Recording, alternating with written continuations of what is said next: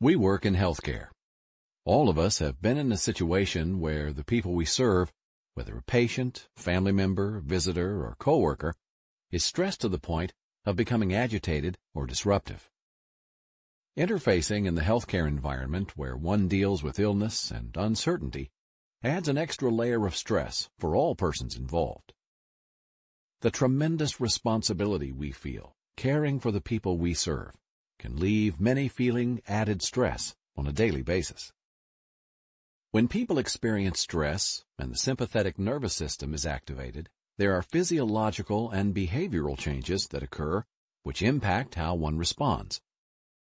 The person can experience fear, rapid breathing, increased blood flow to large muscles, decrease in peripheral vision, as well as negatively impacting one's capacity to think clearly. This can lead to changes in their typical behaviors. These changed behaviors may consist of, but are not limited to, increased agitation, increased voice volume, rapid speech, arguing, yelling, increased body movements, threats, hitting, or throwing objects. How do you respond to these behaviors? Ask yourself, if I was in this situation, what would help me?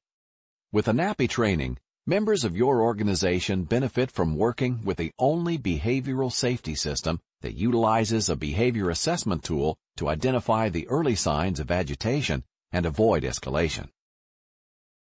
NAPPI's Lullimon Behavior Scale trains people to recognize the behaviors at every level and to understand second-level messages while providing trainees with the exact responses needed. Further, Specific trainer modules provide the strategies and skills necessary to intervene effectively. When your organization trains with NAPPI, the scale will provide a common language, easily used by all trained employees, from frontline staff to administrators. This creates an environment of clear, concise communication in which everyone is on the same page. By the end of a NAPPI training, your organizational system will be better prepared as a whole to effectively assess situations and understand how to avoid escalation. After viewing this module, it is apparent that treating all individuals with dignity and respect goes a long way in generating cooperation and developing positive relationships. A friendly greeting, a smile, a simple question of care and concern takes minimal effort yet has a very positive impact on the individual served.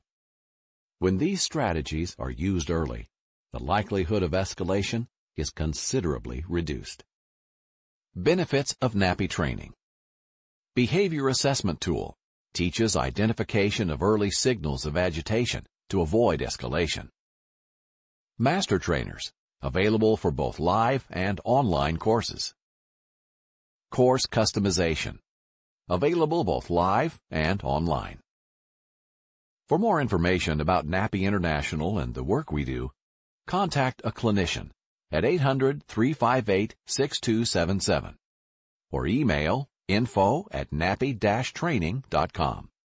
You can also visit our website at nappi-training.com.